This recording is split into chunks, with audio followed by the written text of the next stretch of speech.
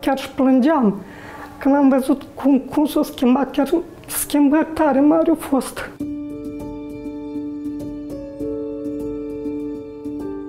Incluziunea unui copil cu dizabilități depinde nu doar de capacitatea lui de a se adapta programului școlar, ci și de atitudinea pedagogilor, a părinților și a celorlalți elevi.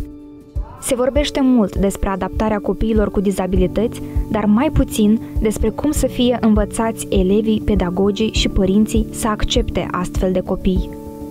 Marin este elev în clasa a noua, la liceul teoretic din comuna Sculeni, Ungheni. Din cauza dizabilității pe care o are, s-a confruntat cu multe probleme, la grădiniță și la școală. Dăm soară, numai două? Numai două. Încă două. Persoane importante, încă, dar și voi completați? Încă. El nu putea juca cu copii, el se răstugule pe jos, îi pelea, îi mușca. Părinții veneau la grădiniță și mm, spuneau că să nu-l primească la grădiniță, că vin copiii mușcați. Mă duceam și stăteam și eu câte o zi, câte jumătate de zi, că acolo e aproape grădinița, e în sat pe loc și știm mai mult cu dânsul. El vorbea, dar nu bine, nu înțelegem cuvintele bine. Dar când a început la școală să frecventeze în clasa întâia, ne-au dat am, cursuri la logoped. Am urmat o săptămână cu, la cursuri. După, după cursurile care le-am frecventat, dar vorbirea mai puțin o leacă s-a mai schimbat, mai binișor. La lecție nu dorea să participe absolut deloc. Persoanele străine nu le accepta, nu avea un vocabular corespunzător. De fapt, nici nu vorbea cuvintele pe înțeles. Lovea colegii, scuipa, se lovea, își provoca singur dureri. Mi s-a dat cu scaunul în cap, a răsturnat la peste mine, adică a fost groaznic la început. El dorea să se arunce de la etaj. De aceea s-a luat, s-a făcut o ședință, s-am ajuns la concluzia că e necesar să scoatem toate manierele de la geamuri, deși era o, un lucru ilegal, Copiii nu l-au înțeles din start și au refuzat să accepte un astfel de copil în clasă.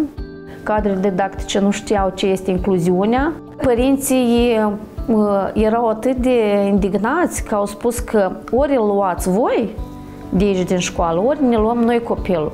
Eu nu sunt de acord, vorbele părinți, eu nu sunt de acord ca un copil ca ăsta, așa era, un copil ca ăsta să-mi traumeze mie copilul, pentru copilul meu tipic, nu pot să-și pregătească lecțiile, el vine acasă stresat. Și prinde cuvântul, trebuie ce vă rog frumos, întrebări în baza textului.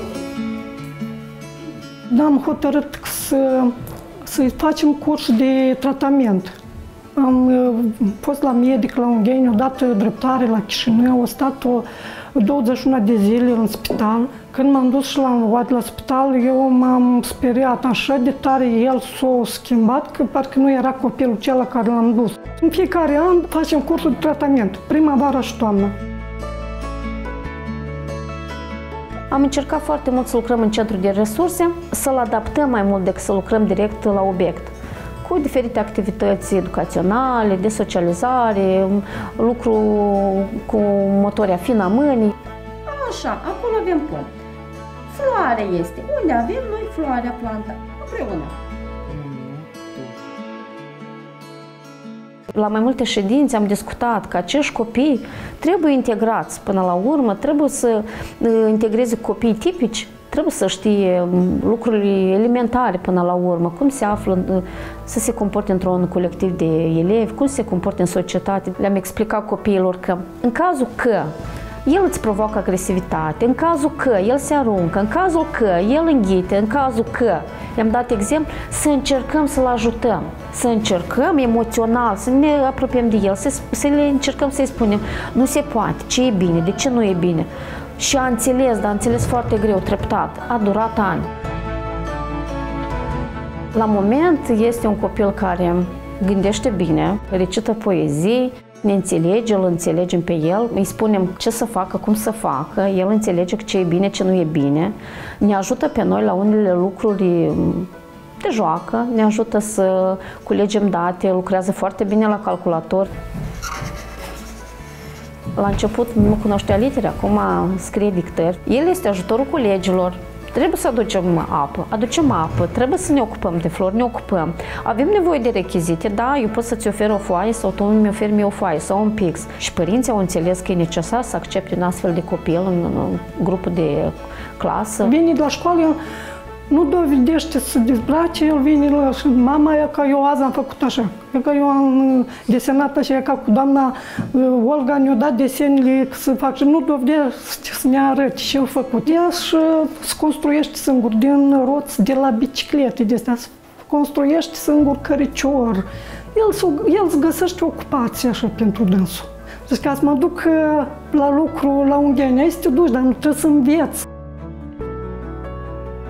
Suntem uh, ghidați undeva, putem să spunem, de serviciu asistență psihopedagogică uh, de, uh, de la Ungheni. Este discutată întrebarea copiilor cu CES la ședințele Consiliului Profesoral, Consiliului de Administrație, la ședințele comisiilor metodice, la fiecare sfârșit de semestru, unde evaluăm parcursul școlar al elevilor, dacă elevii au obținut careva succese sau sau stagnări sau invers, regrese.